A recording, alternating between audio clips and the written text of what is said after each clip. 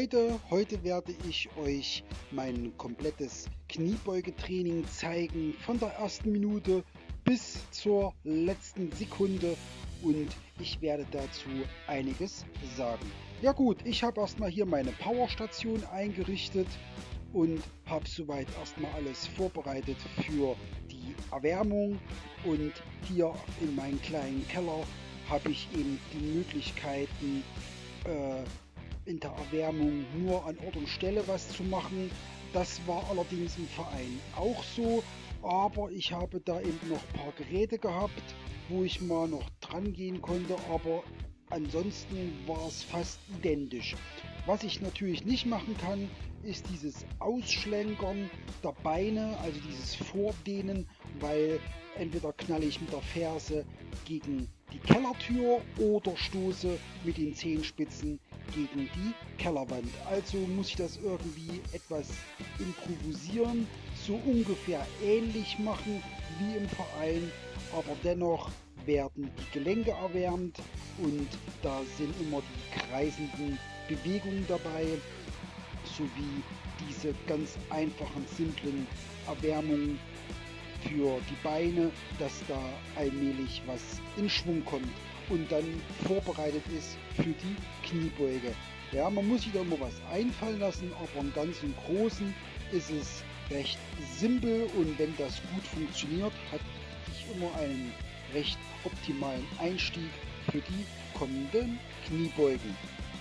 So, jetzt mache ich noch hier ein paar Übungen für die Beine und dann habe ich schon soweit alles vorbereitet und kann mit der leeren Stange ein paar trockene Kniebeuge machen, um reinzukommen, den Stand zu finden und auch mich mental drauf zu festigen. Das geht dann ein paar Mal hin und her. Paar lockere Kniebeuge, ohne irgendwie jetzt hier sich zu verkrampfen oder jetzt wild zu werden. Hoffentlich schaffe ich es, hoffentlich schaffe ich es gar nicht. Bleibt alles ganz locker, schön einbeugen und wenn es dann soweit ist, kommen die großen Scheiben als erstes drauf und dann geht es schon nach Plan. Ja, wird nochmal die Station ein bisschen gerichtet und dann, wenn das alles soweit ist und die Handel richtig auf den Abständen liegen, dann ist erstmal soweit alles vorbereitet. So, jetzt wird nochmal kurz die Handel fixiert und ausgerichtet und dann geht es auch schon los. Ja, ich bin dann manchmal ein bisschen pingelig, was die Ablage der Handlung ist, aber naja, es ist halt so. Jeder hat da so sein eigenes ähm, Gefühl und seine eigenen Macken für das Training und das ist halt auch so bei mir.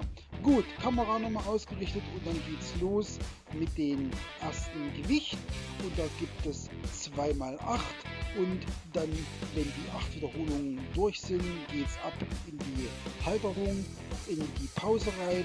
Wenn die Pause vorbei ist, heute waren es 2 Minuten, geht's an die nächsten Wiederholungen ran, auch wieder 8 Stück und dann ist es auch wieder Zeit für eine zweiminütige Pause. Ja, in der Pause stecke ich dann schon die ersten Gewichte drauf und das ist ja alles ausgerechnet vom Plan her. Auch da geht es dann wieder rein in die Wiederholung, sauber, ordentlich, konzentriert wird gearbeitet, schon von der allerersten, also leere Stange bis hin, wenn es in die Arbeitssätze geht.